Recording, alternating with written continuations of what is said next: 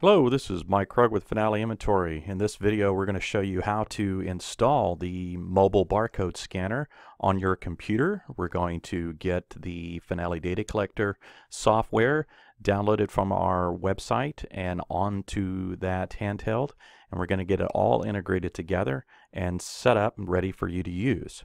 So where we start with this is log into your Finale Inventory account and get to your home screen and we're going to go ahead and show you kind of what we're talking about. So the mobile barcode scanner, I'm going to see if I can bring this up to you. You buy that from one of our partners and we will send you uh, links to get to that. So once you get it, you may get it from them and it kind of looks like this with uh, when you get it out of the package. So I'm going to show you how to set this up and get it interacting with your computer. So first things we need to put the battery in. So they may ship it without the battery normally. So I'm just going to show you. The battery has a tab on one end. So you can kind of see the tab on this end and there's no tab on this end. So just simply put the, the, the end with the tab towards the bottom of the device and snap it in. So that part's easy. And then you're going to see the, the cover. The cover has these little um, wings on them or little uh, latches so we're going to put the, the bottom of the cover on first.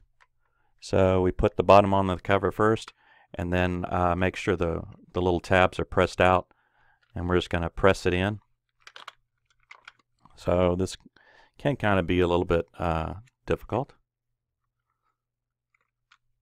And once you get it pressed in, just turn the, uh, the two tabs down and you've got your power to the handheld all connected up and it's ready to power up. So to power it up, just simply press the red button and it should light up and give you to the Windows home screen. So the next piece to this is you should have gotten with your um, scanner a, a USB cradle. So this will plug into the bottom of the unit for connecting it to your computer and also provides the power to charge it. So the other end of this cable looks like this. So it's a USB connection with also a power injector. So this is where the power adapter goes so you can actually charge the unit. So you'll want to take that step and get that charger, that charger cable and go ahead and plug it into the Y so that now you have uh, power available to the unit. So the next step you want to do is to take your USB connection and plug it into your computer. I'll do that now. And we'll get that into a free USB port. And then I want you to notice that uh, now we're ready to actually connect it to the computer. So we'll just simply connect it to the cradle okay? So we've plugged it in and now this is going to fire off your drivers uh, in Windows. So Windows right now is going to load up the drivers. So I'll show you kind of what that's going to um, entail. But Windows, uh, this is a an 8.1 machine, so it'll be very similar on Windows 7. But at the moment, the computer should be loading the drivers for it. In the background, sometimes it's uh, hard to see, but uh, you may see sometimes some uh, driver loading activity here in your system notification area. All right, so you probably heard uh, Windows uh, recognized that the USB was plugged in. So right now it's kind of uh, should be in the background loading up the uh, program called Windows Mobile Device Center, which is going to load the Windows drivers. Once that gets loaded, uh, it normally fires off. So I believe Windows has actually loaded in the uh, drivers. So the next step that we need to do is to uh, actually connect to the um, the handheld unit. So we're going to go to first to add the integration to your account. So we're going to go to add-ons and integrations and you'll notice that by default you may not have any integrations here. So you need to go to the action menu and choose install mobile barcode scanner integration. Now once we get this integration installed to your account you're going to go to the barcode scanning screen. So you can get there from this link here, but it's also the same. It's just going to the home. We're going to go to barcode scanning. So once we see the barcode scanning screen, this is where we're going to actually connect to the mobile scanner. And we're going to use this connect to docked mobile scanner. Next, the um, browser is going to uh, inform you that you need to install a Finale Inventory Chrome extension, which is um, a program that uh, runs in uh, the Google Chrome browser, and it will interact with another program that we will download, uh, Finale, the Finale Windows application. So let's go ahead and install that. It's going to ask you to add the extension to Chrome. We're going to go ahead and add it. And you'll see that the extension has been successfully added to your Chrome browser. Next, we need to download the actual Finale Inventory Windows application, which is going to talk to that extension. So we do that just by simply clicking on this link. And it will download in your browser. Now, you will see this sometimes. Sometimes you might get a warning here that says uh, it's not a commonly downloaded program. That's okay. Just click on this little arrow here and say keep. And once it finishes downloading, you can click on this to actually run it. And then the Finale Inventory Setup Wizard will run. So now we just need to take the defaults. You can uh, uh, choose uh, for everyone if you'd like and hit next and run through that. You're going to get a little warning from your computer for user account control it's okay, say yes. And that's as simple as it was. So you can see that we've been successful in installing all the necessary programs to actually get it to work with your computer and get it to interface with our browser application.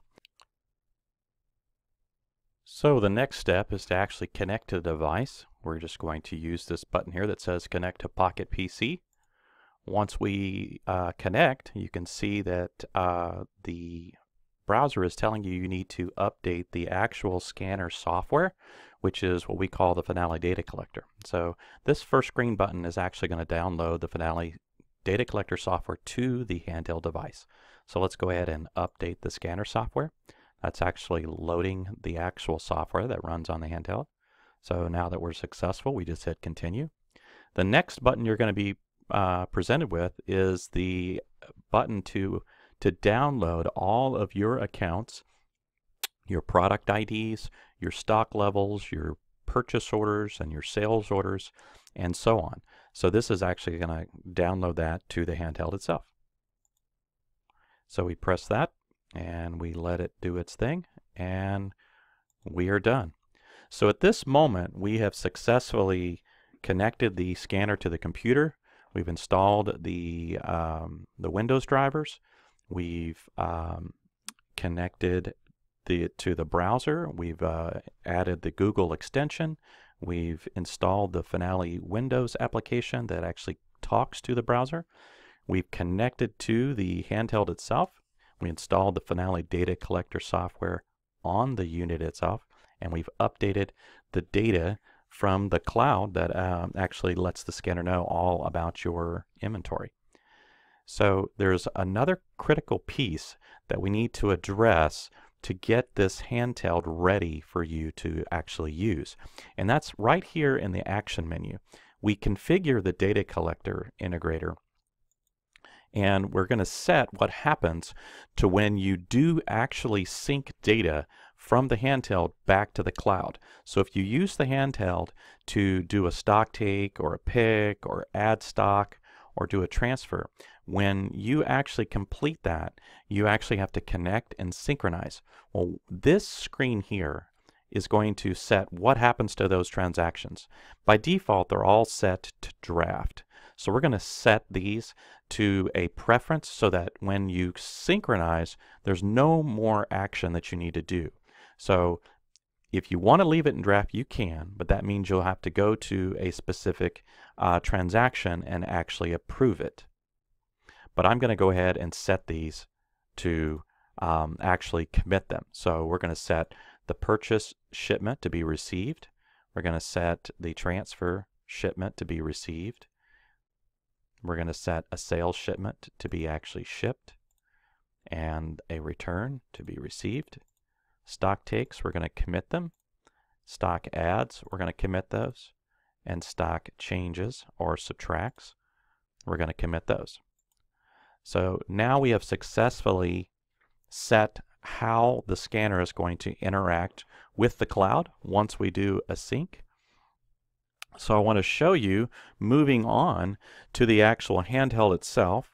So let's say, well, now that you've uh, actually installed some software, let's see, well, what do we do with this? So if we want to see what we've done, we're going to actually uh, take the stylus out here and we're going to go to the Windows Start menu. So that's right up here. And then the next thing you do is, well, how do we run this application? So you need to go to the Programs, and then right here in the Program menu, you should see Finale Data Collector. We're going to press that, and that will bring up the Finale Data Collector software. And that's about it. So if you need to close or get to the main menu, you can use the X. That does not exit the program. But I want you to notice this time as you go to start, you're going to see Finale Data Collector in the menu right here. So you can return and get right back to it. That's the simple steps to get up and running with the Finale Data Collector software.